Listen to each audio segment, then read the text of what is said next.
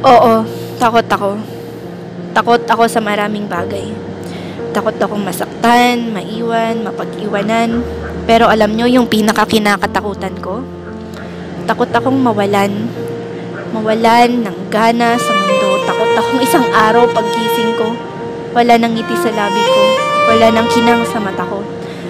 Takot akong mawalan ng direksyon nitong buhay kong to. Takot akong tanungin ang sarili ko, bakit pa ako nandito? Bakit pa? Tuloy ko pa ba? Kaya ko pa kaya? Sa dami ng tanong ko, lumalakas ang takot ko. Araw-araw na pupuno hanggang isang araw ay aapaw sabay sa pag-apaw ng luha sa aking mga mata. Mag-isa sa kama, natutulurong diwa, sinasarili ang hikbing tinatago sa bawat patak ng luha.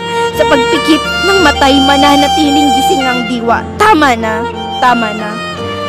Ang sakit, sakit na. Bakit pa ako lalaban ko ang ako mismo yung mahina?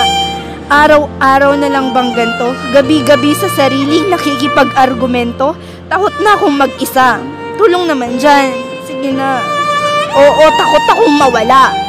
Lumalaban ako pero konting tulak naman oh. Ang lakas kasi ng utak ko eh. Pakibatukan naman. Ayokong mawala. Ayokong pag-alis ko wala ring mapapala. Gusto kong lumaban. Gustong gusto ko.